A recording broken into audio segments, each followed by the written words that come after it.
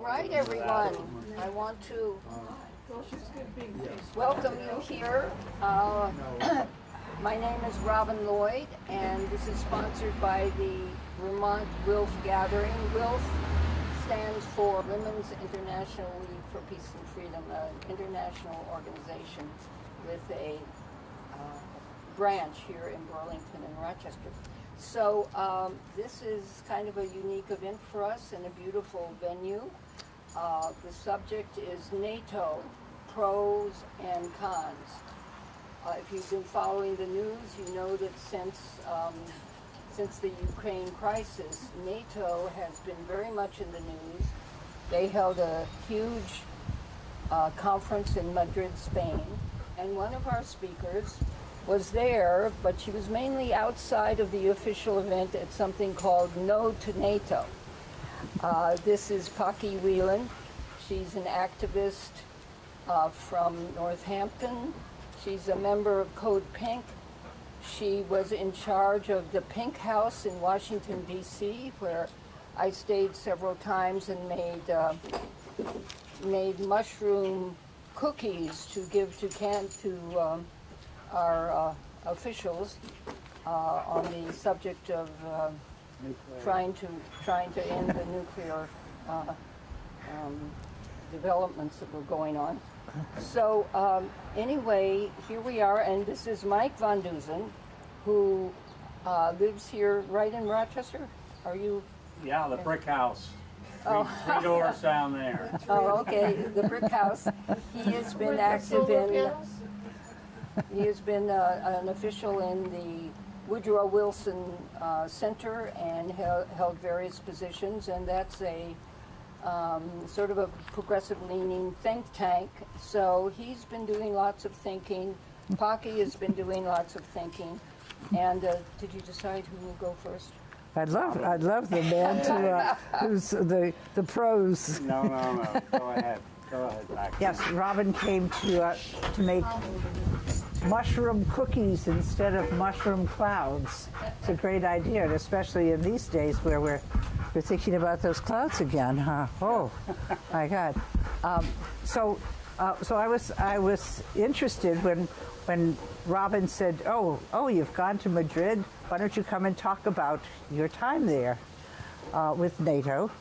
And then she said, "Well, let's let's. I'm inviting someone else. I'm inviting Mike Van Dusen, who uh, who has this illustrious um,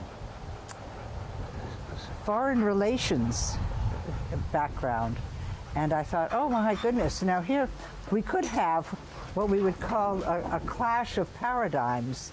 Uh, the man with the the insider and the woman outsider, or we could look at this through a, a, more postmodern lens and say, ah, an expansion of the conversation from those, the insiders and outsiders. And for those of us who, uh, who are, are political activists, we know that we we need to do both inside and outside, don't we?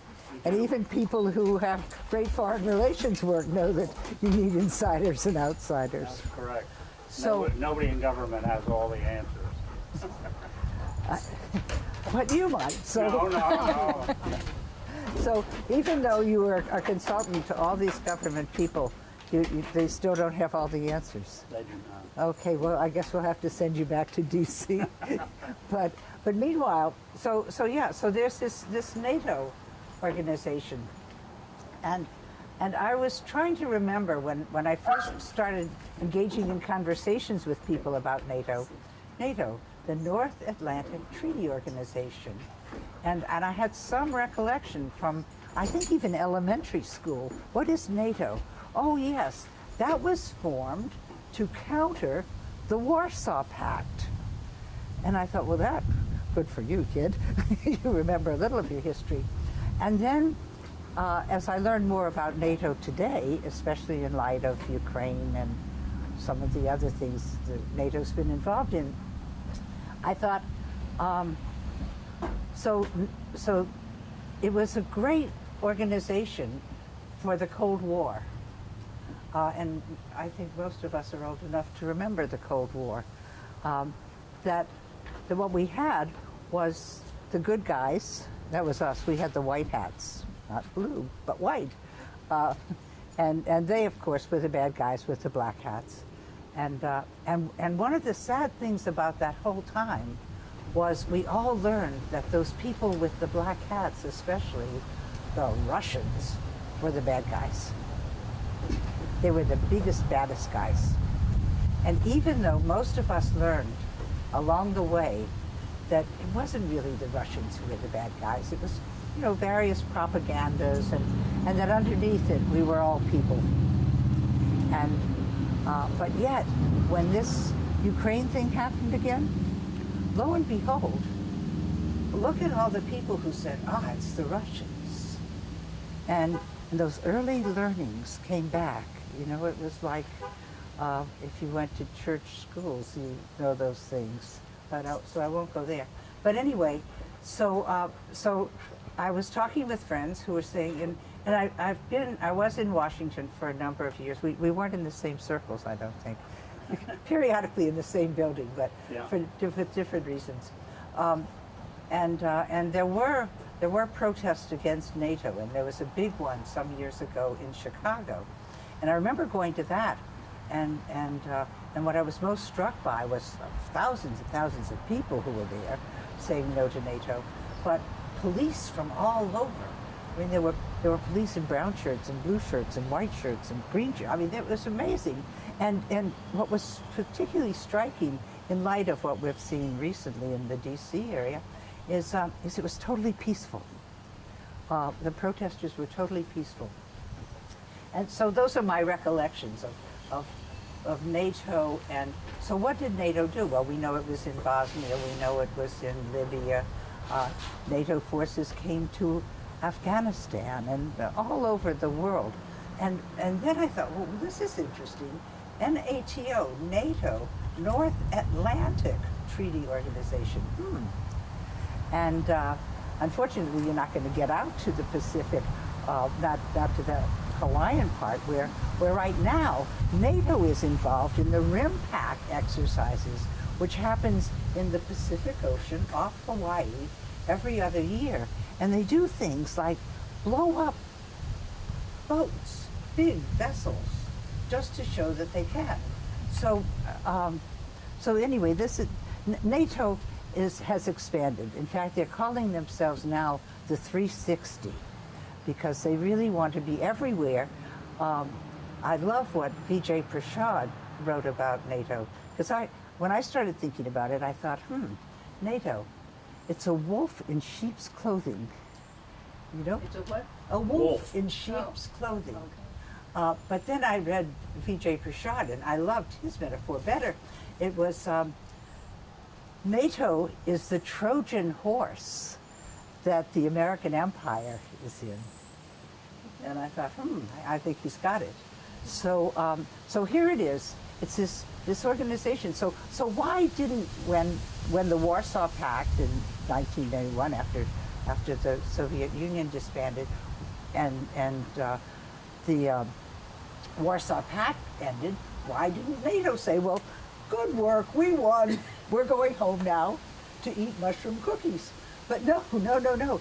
Somehow or other, I think they learned that, wait a minute, this is a cow, uh, not the holy cow, but the cash cow of, uh, of the military industrial world. And uh, so, so NATO expanded. Um, it was initially, it was initially a few countries who were all in Europe and in the United States, and it, and it had a very good, good underlying reason to be, right? It was to uh, to unify uh, Western Europe, to uh, to stop the Soviets from coming further west, and uh, and to to to help bolster democracy. And now, it is everywhere in the world, um, making making relationships with AFRICOM, Africa. Imagine NATO in Africa, and and they were so generous. They invited not only uh, their own people to come to this big conference in, in Madrid, but they invited Australia, New Zealand, Japan, and anybody want to guess? South Korea.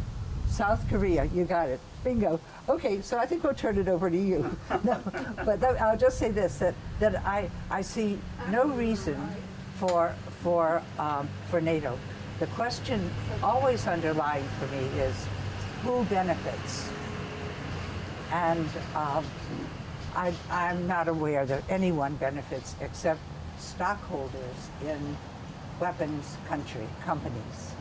So I'll stop there uh, and, and Well, invite you to, to Yeah. join this and then we'll continue on. Well, thank you to Robin and to you, Paki, for uh, organizing this. Um, uh, I do have some notes and I'll refer to them at some point, but um, my starting point is, um, I guess, with uh, Henry Luce, who had uh, Life magazine uh, back in uh, 1941, he, 40 and 41, he was writing about um, uh, uh, God uh, giving um, religiously, God giving the United States the authority or whatever to lead the, lead the world in getting rid of Hitler. Um, and that is probably the start in some respects of what some people have called the American century. That's my first point.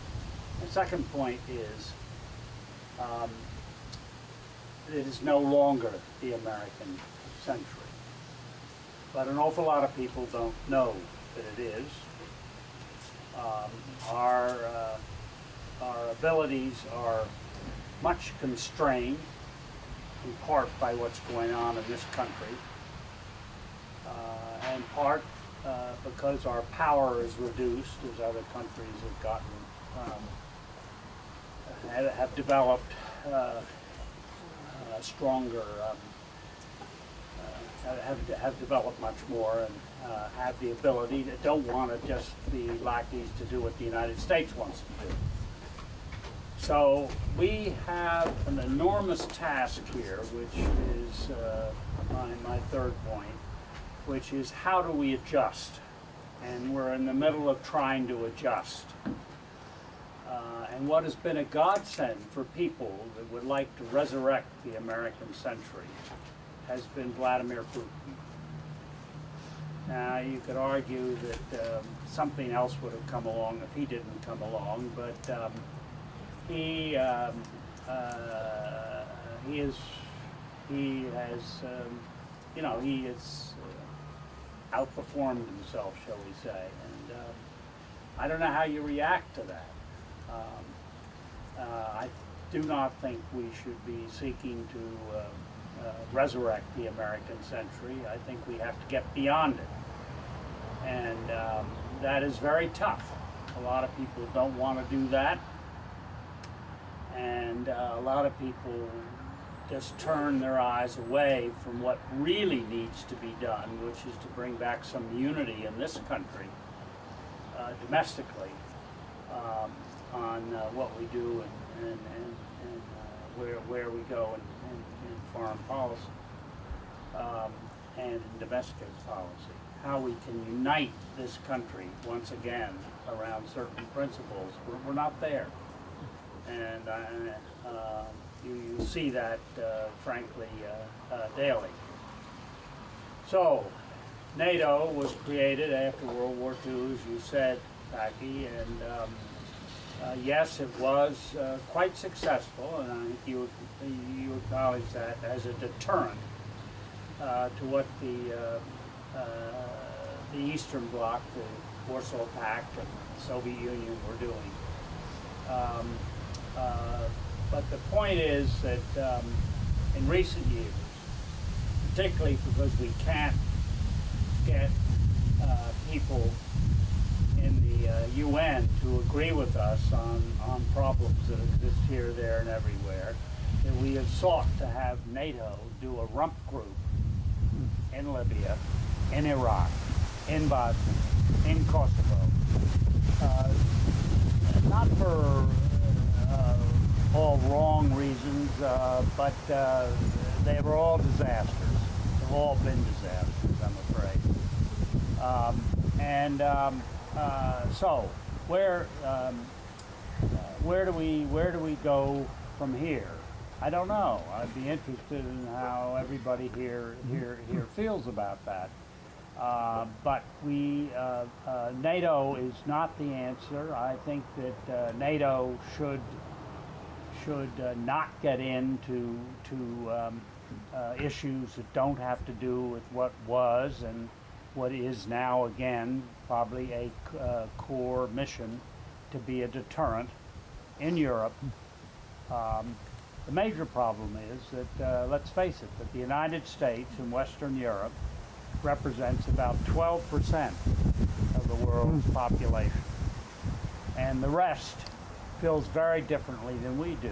Indeed, the, the BRIC countries, B-R-I-C-S, that uh, you know ha- recently had their their own uh, summit meeting. Uh, uh, includes uh, South Africa, includes India, uh, uh, includes Brazil, includes China, and uh, Russia's tagging along.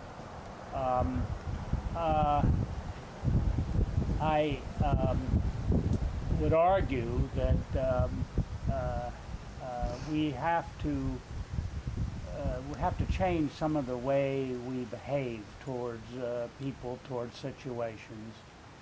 Um, do not demonize people you disagree with. Uh, the absolute need to negotiate. Years, weeks ago, uh, I um, uh, was wondering why we have not been able to enforce a very good treaty that was made in 1923 called the Montreux Convention um, in order to get uh, address the problem of um, uh, grain exports out of um, 16% of world grain exports, I think, come from Ukraine. Uh, maybe 14% from, from Russia. Of course, Russia would like to combine the two and, and have it be its 30% of the grain exports. But at any rate, um, uh, why can't we get Ukrainian um, uh, grain out to places in Africa, the Middle East, and elsewhere? Uh, because if the Montreux Convention were working, and Turkey is a key signatory to the Montreux Convention, it had to do with the time when Greek and Turkish populations were getting uh, separated, and and uh, and the uh, Ataturk Republic of Turkey was uh, uh, coming forward. Um, it calls for the the Bosporus, the entrance to the Black Sea, to remain open.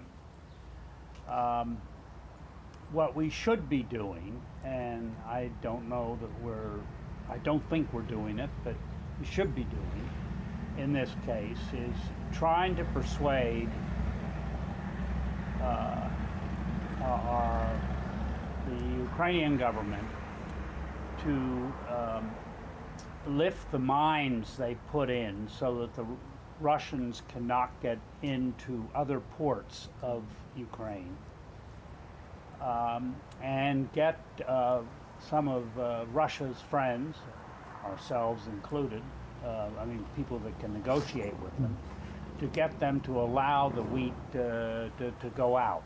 And um, that takes some hard diplomacy. It's much easier to give people arms than it is to do the hard, hard slog of, di- of di- diplomacy. And I'm afraid diplomacy is becoming a lost art in the greater scheme of things in the world. Uh, I'm very, I'm very disappointed in that. But there's a clear instance where, where we should be doing uh, diplomacy. I frankly um, feel that we should try and go further uh, with diplomacy, and um, and that is to try and persuade uh, Zelensky and the Ukrainian government um, to um, uh, agree to, to call for a ceasefire in place and the start of negotiations. that something that we in the West could then endorse because I think a lot of countries around the world might step back from what Russia's trying to do if we were trying to uh, move things to the negotiating table. Uh, it may well be in negotiations and you don't get everything you want. Russian doesn't, Russia doesn't get everything it wants and Ukraine doesn't get everything it wants. But um, that is, is, um, is, is to me a better solution than what we're doing right now, which is uh, having been not totally prepared for a Russian invasion. Ukraine has been given some weapons, getting more weapons, and is about in the process of trying to launch a counterattack, um, which could well be partially uh, successful. A lot of people will die in the process, and uh, uh, that's something I think you uh, want to avoid when a significant portion of the Ukrainian population has already lost members, uh, and a lot of Russian families have suffered through the um, the, uh, the, uh, the way Vladimir Putin's handled the handled the war. So uh, let's negotiate. Let's not demonize. Uh, let's try and uh, solve problems. Share, not dominate. Um, things that don't come naturally to a lot of Americans. I know that's a tough slog, um, but again, our our our our ability to run affairs of the world uh, is not what it might have been uh, some time ago. Um, and uh, a last thing, which I regret from the early post-war, post-war period, is that uh, a lot of what we were doing in the fight against communism is um, is still with us. Uh, some of the people we supported um, along the way have uh, produced problems that uh, continue to fester. Uh, you can take Guatemala, you can take Iran, you can take um, uh, various other countries around the world where uh, Vietnam. Uh, it, it- to me, it is an absolute tragedy that Woodrow Wilson wouldn't meet with Ho Chi Minh, who came to Paris in 1919, that he could not get the attention of anybody when he lived in New York City in the 1930s. Uh, he was always a nationalist. Uh, yes, he was a communist, but he was always a nationalist, and um, he was. Uh, you, you you see that in a lot of what's happening in uh, v- v- Vietnam uh, today.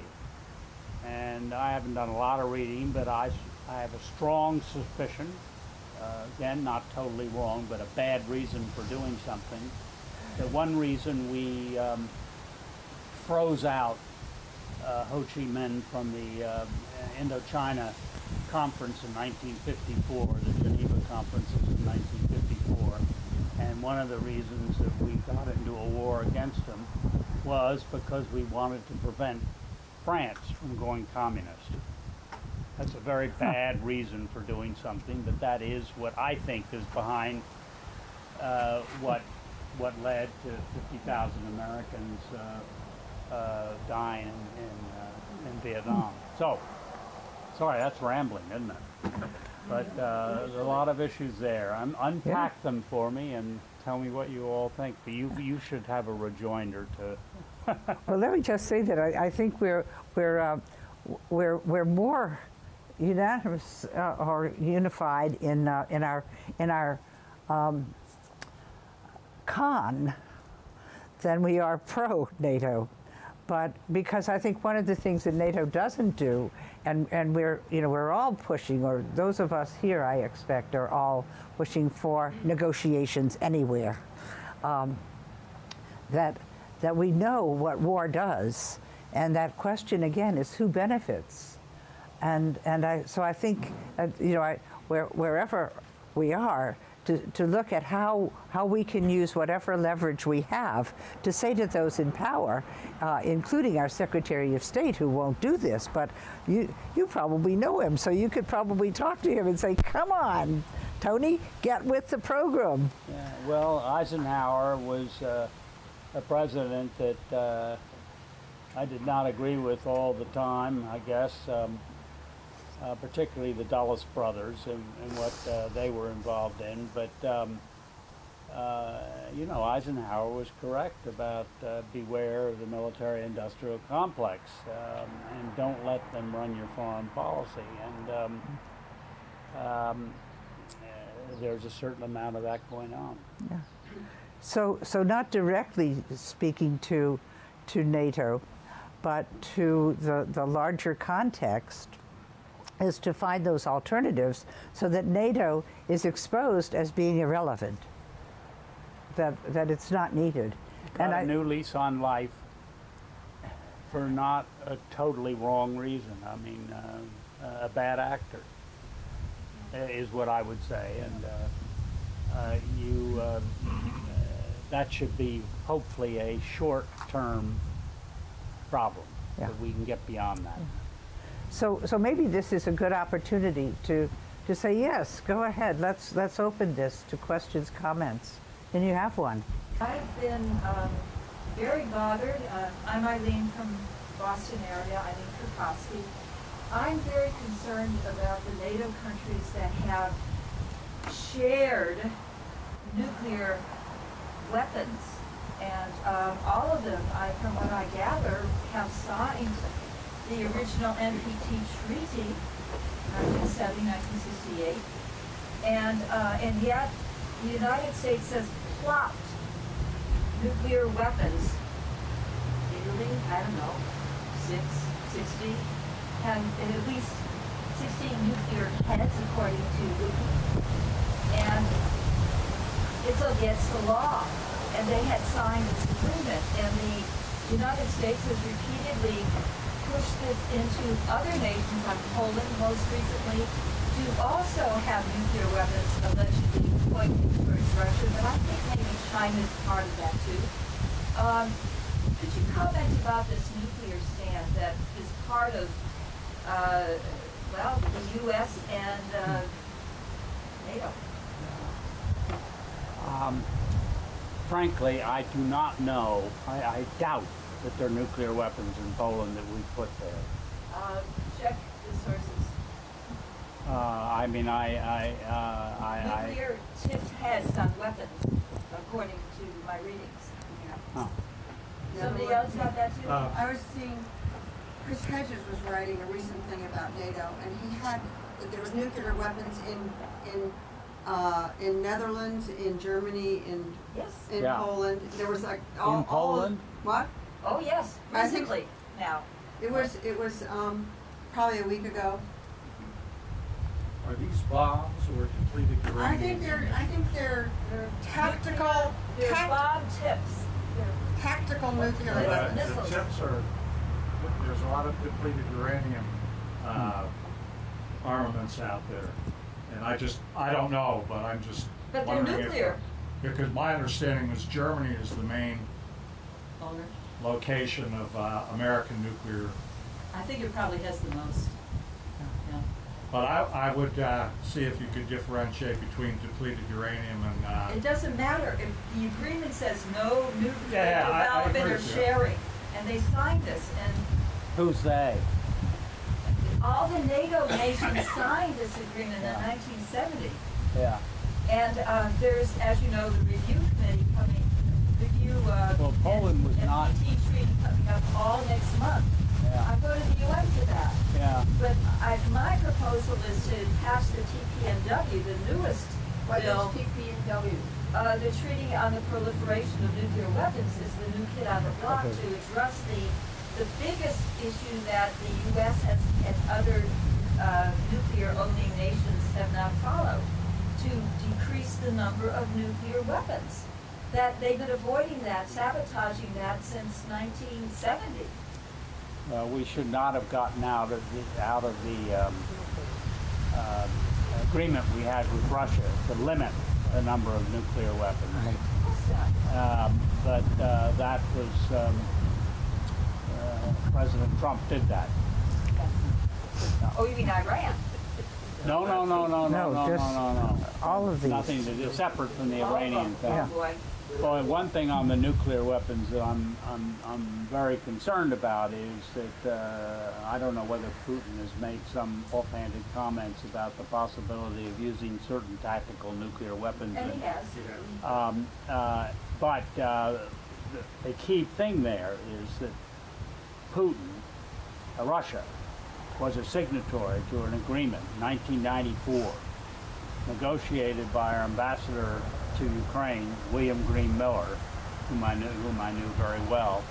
Um, uh, Bill Miller negotiated the withdrawal of all nuclear weapons from Ukraine. Right. And uh, uh, there you go. That's not a good message to would-be countries wanting to have nuclear weapons.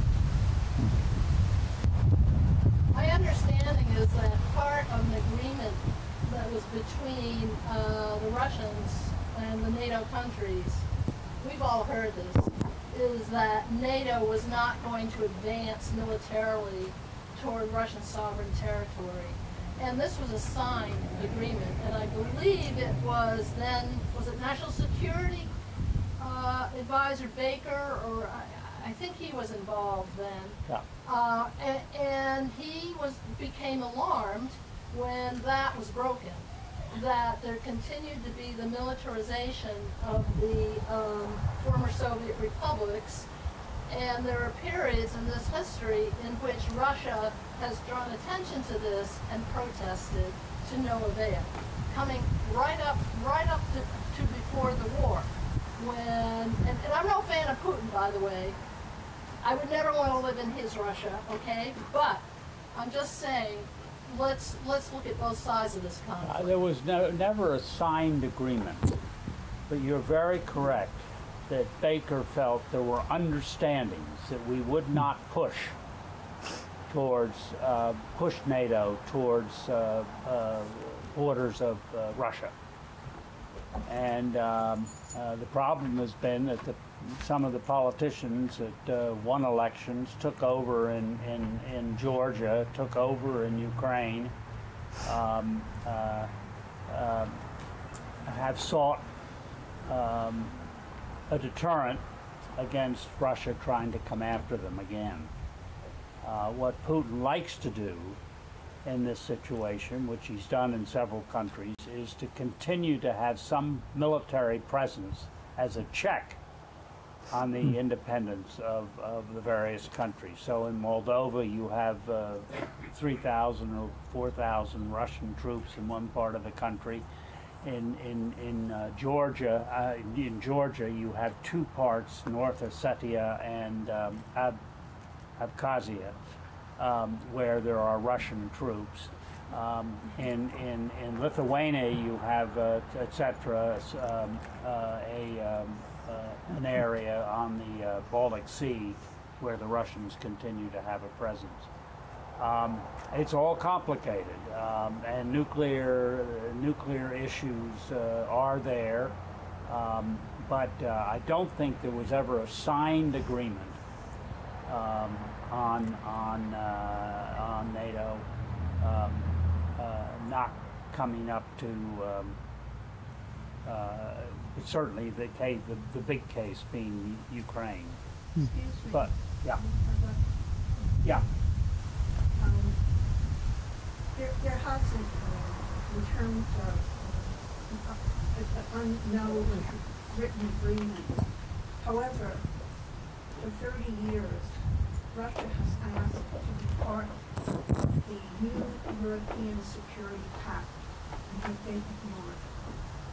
I mean, in, fact, that ignoring Russia is in itself, I have to say, an aggressive act. That's one to say. Also, for eight years, after the Maidan coup, um, and maybe even before, the US and NATO countries have been training and arming Ukraine, Ukrainians. Also, there was a civil war after the Maidan coup, where uh, Russian-speaking people of the Donbass uh, opposed the uh, overthrow of the government and also opposed the uh, suppression of rights of Russian-speaking Ukrainians. This was eight years of the Civil War. There more than 14,000, uh, more than 14,000 Ukrainian, uh, uh, Russian-speaking Ukrainians killed. Supposedly, Zelensky uh, had promised to be a peace president and to bring forth some kind of agreement to settle on the on the border of Russia uh, a civil war that is still occurring because there, are there are several wars going on here, right? This still goes on. In the beginning of this uh, uh, incursion by Russia into uh, Ukraine, in the early months, there were meetings between uh, uh, Ukrainians and Russians. And the last most prominent meeting took place in Istanbul, I think that's where. And um, there seemed to be progress made, but then the US and UK uh, negated these, these talks and want pushing for the continuation of, uh, of the war. So, I mean, I think it is so complicated, and it is always presented from our point of view here in the United States as if Russia had no reason to worry about the military buildup in Ukraine, had no, no problems worrying. I mean, it was pretty sneaky, I admit, to, for, for uh, Putin to uh, acknowledge uh, the sovereignty or the independence of the Donbass and then use that as a ploy to go in to take action. Uh, But also, I thought it's pretty clever because we have done this in different parts of the world. So I think he's learned he's learned very well from observing us. Let's say in Kosovo, for example. So I think my my my question is this: Why did Ukraine uh, uh, put all those landmines in the Black Sea, of course, to help the Russians? But at the same time, why aren't they more eagerly wanting to give their grain?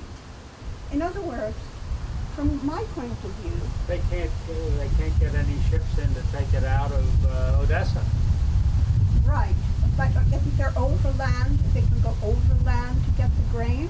I, I don't know whether they could uh, take it out by trains, but you Right. can't get very much on, out Right. on But also, let me just ask you this.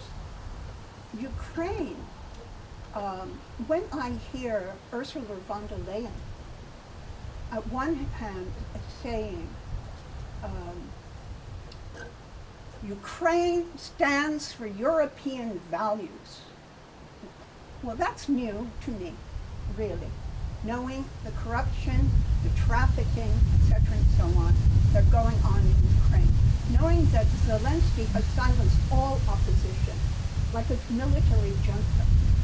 And that at the same time, when von der Leyen speaks about, she started very early saying to Ukraine, we're coming, we're going to support you, we're all for you, and you represent the best of us. It will be the largest country in Europe. And yet it is not, it is not a democratic country. It is not a democratic country.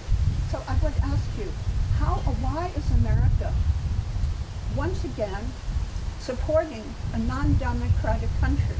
What is our goal in it, according to your vision? Yeah, I, I think it's a hell of a lot more of a democracy than Russia. Well, we're not talking about Well, we are talking about Russia because that's, uh, we, we- you know, Putin, Putin declared war on Ukraine. He says the Ukrainian people do not exist. I don't think he said that at all. Oh, yes, he, he said it several times. He wants a culture of eradication. Yes. I see. I mean, uh, he, he, um.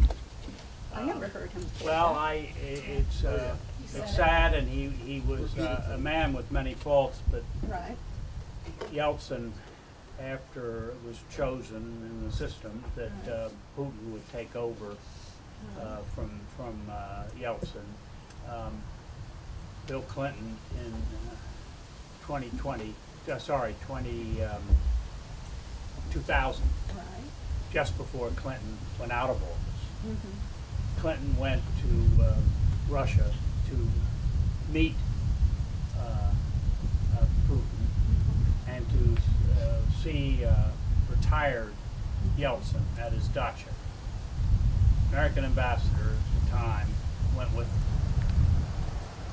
And what was very interesting to me was that uh, while uh, Yeltsin and Clinton were having a talk, um, Mrs. Yeltsin uh, was talking to the American ambassador. And um, American ambassador said, um, how do you feel about democracy in Russia? Do you think it can survive? And at first, Mrs. Yeltsin wouldn't wouldn't answer. Eventually, she said, "They're back. What's that mean? Security services have taken over the country. I see. That's that's what she. She said they're what? They're back. They're They're back. back. The security service. The Soviet police. The, the Soviet police, the, the KGB, whatever it was. however you want to. Um, and um, I, uh, uh, uh, it is a mess. They both have history on their side, um, and uh, it's not uh, something that the United States should be engaged in uh, long term. Um, the fact that they want to be part of Europe, the fact that they want to be freer um, than they would be if uh, they were part of Russia. Uh, I, um, uh, I think that that's caught the imagination, their courage has caught the imagination of a lot of people. Um, but the problem will not be solved until their negotiations. I agree with you. Let me ask you one more quick question. Quick, because we've got other No, people very quick, too, just yeah. one quick question. Um, uh, uh, Europe and America are arming uh, Ukraine, and it has become a cause célèbre, even with many problems. When I was in Bosnia and worked in Bosnia for many years, I often wondered why there was an arms embargo which affected the Bosnian Muslims and did not, did not give them a chance to liberate themselves against Serb aggressions or Croatian aggressions, while Croatia and Serbia held Yugoslav uh, uh, uh, uh, uh, uh, access to most of Yugoslavia's armaments. Why did we not, and Europe not, step in to allow, and for three and a half years, allow the destruction of a country? Is it because it was more interesting to see that part, the Balkans, disintegrate? That, that, that is, a- that is a fair question. A lot more attention is given to some problems than to other problems. Um, Churchill said so many things over his lifetime that I disagree with, but uh, he did say once that uh, the Balkans generates more history than it can consume locally. And, uh, but uh, it's marvelous that you spent some time in Sarajevo. Yes. Yeah, yeah. Um, uh, and there, um, uh, the Kosovars are a small group. They're united. Putin is, is, is that's one of the major things against the United States. We, we helped, uh, we went against Serbia in order to let uh, Kosovo be created as a country. Well, I'm thinking about uh, Biden right now, um, and uh, recalling, I believe that at that time that Biden's son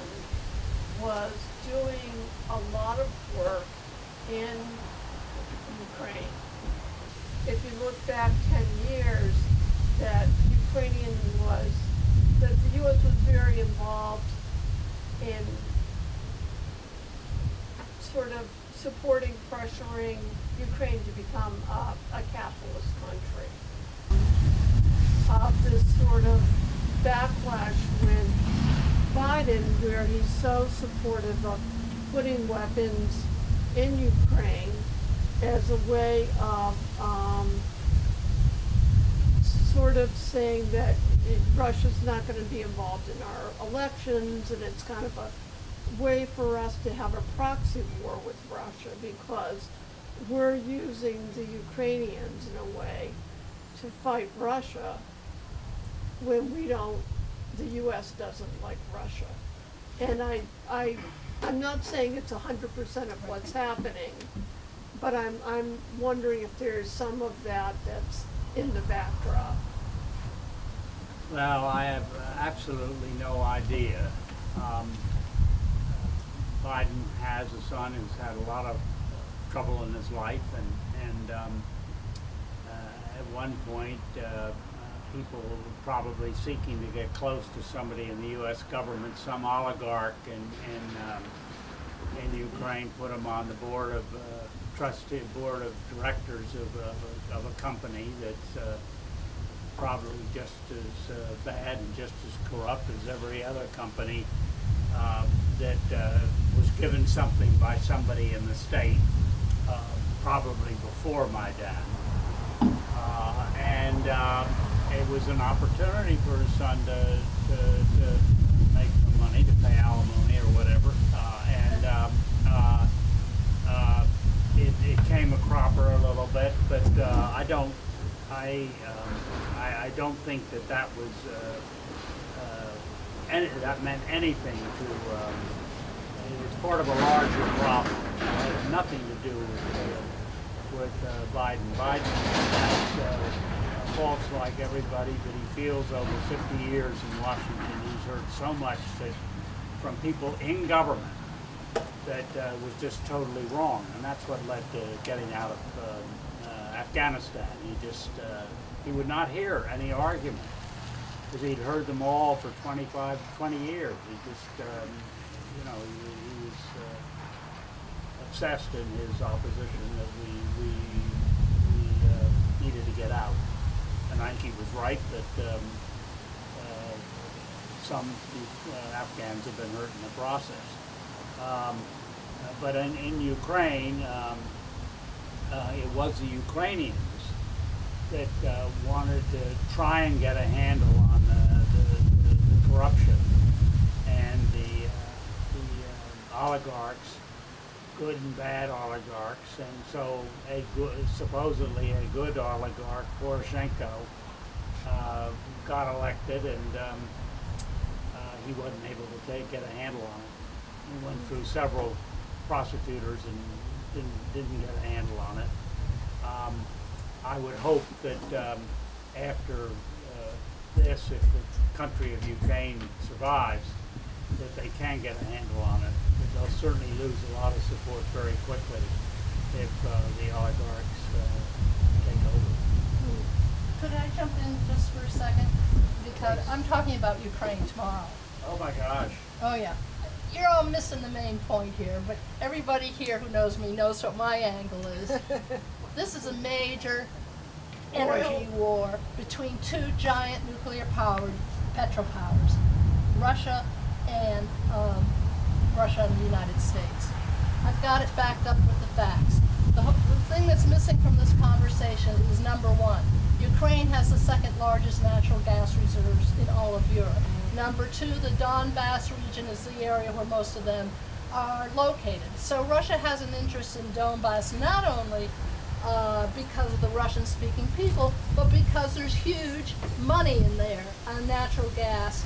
And uh, Burisma is a large energy company that was hoping to develop that natural gas in there, and along with Chevron and some of the other major oil companies. So if you look at the whole UK, Ukraine problem, not only currently, but you go back in time, then you're gonna, you're, everything's gonna start making sense. I'm not saying it's the only reason, but I, I think it is a major reason. You got, you got to look at this, this part of the world from a geopolitical lens, which in the United States uh, most people are still not used to. And geopolitical meaning, what's the territory, what's in it, what can we get out of it, how do we profit from it? That's a geopolitical analysis. And, and then I would add the, the uh, energy complex in there.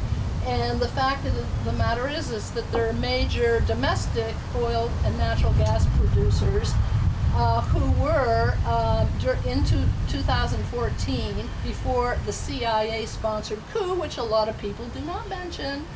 CIA sponsored by Miss Nuland and Company. Um, and at that time, they were very anxious to get in on that. Uh, these are frack gassers producers. They also want to make a lot of money in Ukraine and uh, circumvent the Russians who supply 40% of the energy to Europe. So um, once you take it from this perspective, I think um, the uh, what we're having is the make, making. I am arguing we could, could be into the mother of all endless wars. The endless wars over the past uh, during the, our century are about energy. I prove it in my book, and uh, this is just the the horrific logical conclusion. And both sides are going to dig it because both sides want to control oil and natural gas.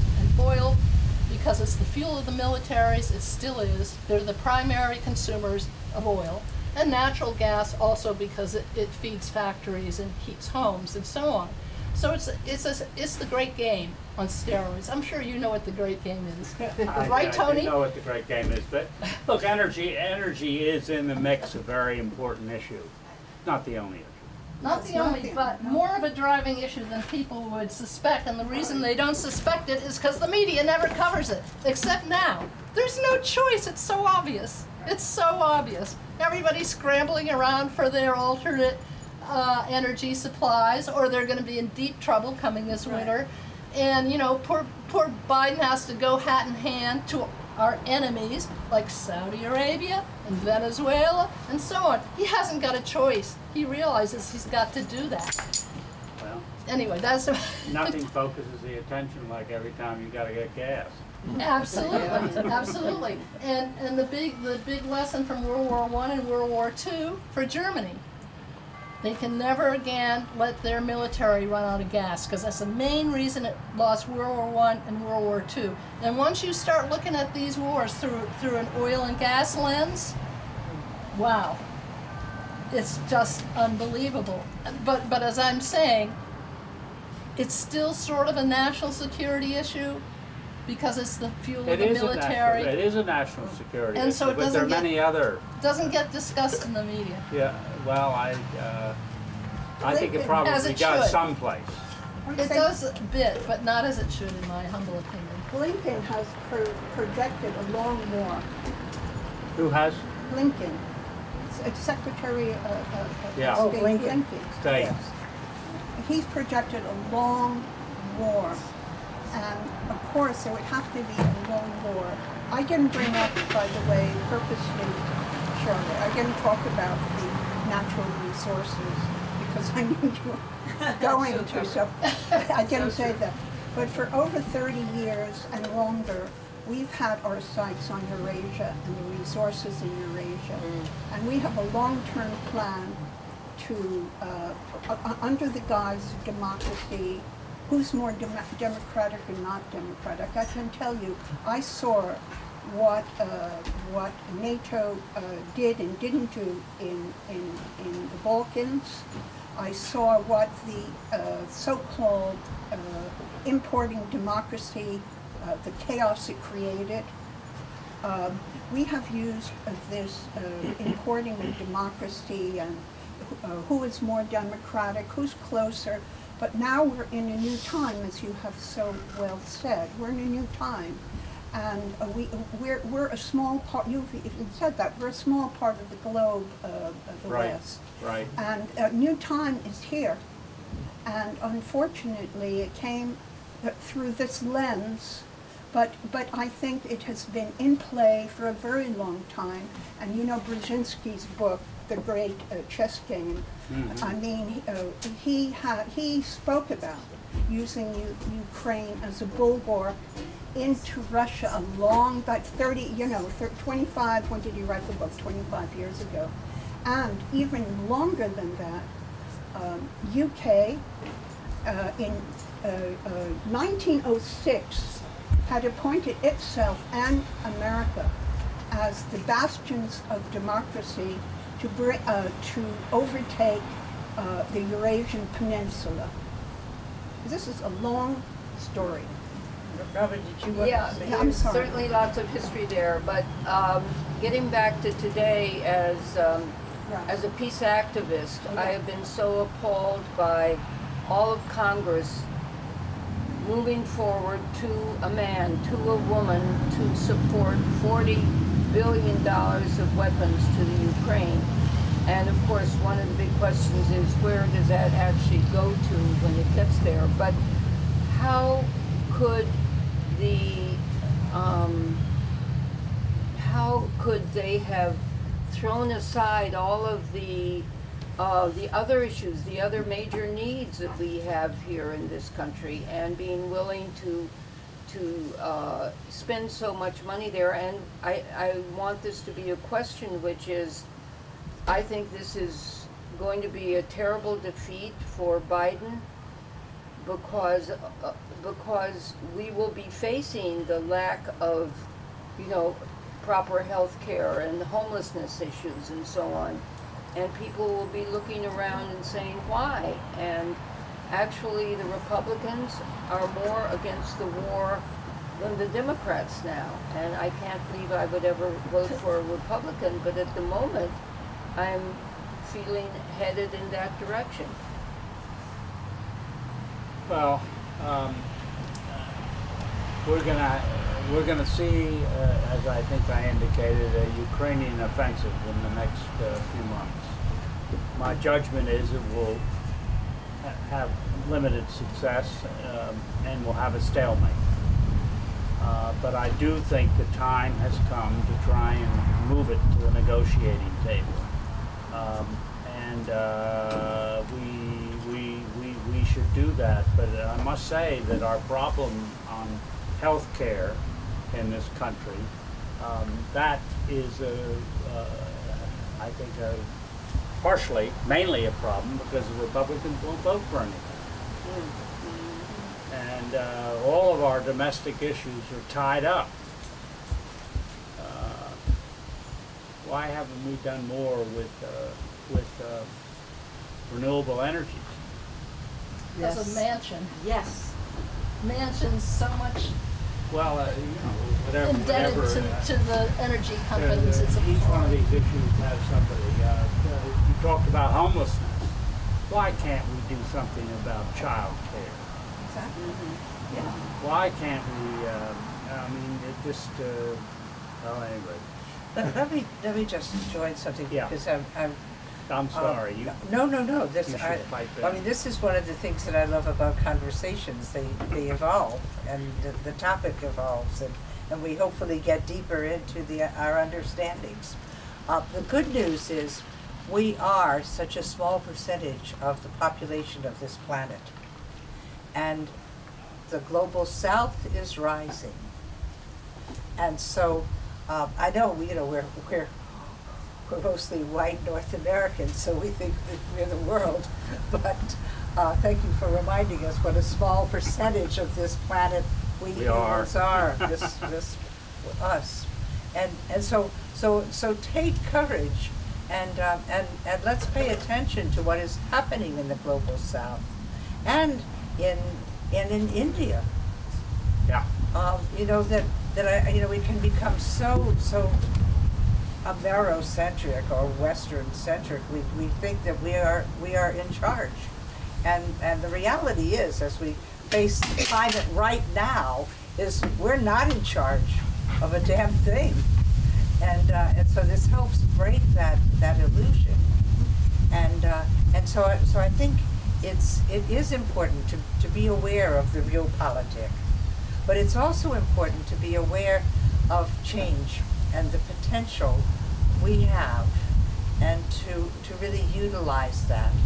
You know, to, to, I mean, as I was listening to you and to, to others talk about the, the, the NATO, I think, yes, so, so NATO will become obsolete. Because Hopefully. its its utility is war making and most of the the world is waking up to the reality that nobody wins in wars Especially with nuclear war. Certain Well, people do win. with any war but nuclear war it's it's over and uh, and so so uh, so I appreciate this and I, I particularly appreciate it thank you Robin for, for inviting Mike because I, I really appreciate the vantage point you have with your, your years of experience being one of the insiders or, or embedded in the insiders in those affairs and relations, you know. Uh, we were, we were chuckling before. You have a House Foreign Affairs Committee, you have the Senate Foreign Relations Committee. Senators have relations, congressmen have affairs. That's cute. and, and, and our, our Mike Van Dusen has been in both of those houses. So, um, so we want to thank you for Yeah. staying Yes, alive and, uh, and, and sharing the, the, the information you have just by being where you have been that many of us don't, Well, you know. it's very important that you stay active. Um, and uh, uh, I, I don't know that NATO is going to have much of a future beyond uh, um, Europe. It certainly should not get involved in, in, in uh, problems here, there, and everywhere. And uh, if we can't get the UN to, to do peacekeeping where it might be needed, um, uh, well, we have to find a way of doing that. Uh, that means getting, getting the global south involved in it, uh, leaders in the global south. It means uh, uh, being able to do it in such a way where it's, it's very, um, uh, uh, where, where China or Russia can't veto it. And I think you can do that in a lot of instances because they're very conscious of their their their role in the globe, and if they um, they China in particular wants stability everywhere uh, because they they think that's best for them, um, and um, uh, at some point they're going to see that. Uh, uh, Ukraine is not a winner. I mean, being against Ukraine, trying to get rid of Ukraine is not, not a winner. At least I hope Well, um, I want to thank everyone for coming. If there is someone who hasn't spoken, has some hot, uh, question to ask, or, uh, whatever, um, I think we've had a very fruitful conversation. I want to thank both of you and, and the audience here. I think there's something like, uh, twenty people who turned up, so this is wonderful. Yes, I would, I would just say, it's very funny, you're looking at the two of you, and behind you is an American flag and a Ukrainian flag flying. And, and it's just, I can't get past that, that, Uh, could I make a recommendation? Yes. I think it's gonna pour soon. yeah, yeah. Um, Uh, they hint. have been saying that All all day. day. Yeah, but it hasn't been rumbling until now. So, Yeah, all right, so we have to move the So- chairs back into so in it- the but- library there. Okay, so, so in, in anticipation of this, I, uh, I made something for you. Uh, I, uh, to Michael Van Dusen, recognized as a good insider, the champion of MICIMATT, and that is, for those of you who know Ray McGovern, do you know Ray McGovern? I know him. Yeah, well, yes, of 'em. Yes, the I've read his military, stuff. industrial, congressional, intelligence, media, academic think tank complex. Here you are. Ah, well. Uh, good luck to everyone, and we've had several people. No, you're Barbara. Leslie. Yeah, Leslie. Hi, Mike Mike, yes. from Rochester, Chris from, Ro- well, from next town, Hancock. Yeah. Hancock. And Thank you folks. for coming. Uh-huh. Yeah, those are pretty ominous looking clouds up there. Wow. Yeah, I agree. Well, our gardens And need it's taken a long time to get here. It certainly has. Oh, I got, I got Some of us will take.